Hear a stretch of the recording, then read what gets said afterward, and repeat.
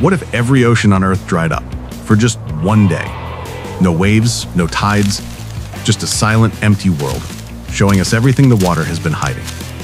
Imagine stepping onto the ocean floor, miles of cracked earth stretching into the horizon, shipwrecks resting like ghosts, lost cities buried in sand, trenches so deep they look like scars across the planet. We'd see the Mid-Atlantic Ridge, a mountain range longer than anything on land, splitting the earth like a hidden backbone.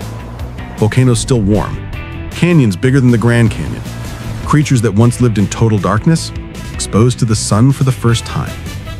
But beauty wouldn't be the only thing revealed. Toxins, plastics, abandoned weapons, every mistake humanity ever threw into the sea would be laid bare. The ocean floor would tell the truth we tried to bury. And then the danger begins. Temperatures would rise, weather would break, millions of species would suffocate without water. Humanity would rush to survive a world suddenly stripped of its life support. But after 24 hours, the oceans would return, flooding back with unstoppable force, washing away evidence, memories, and everything left behind.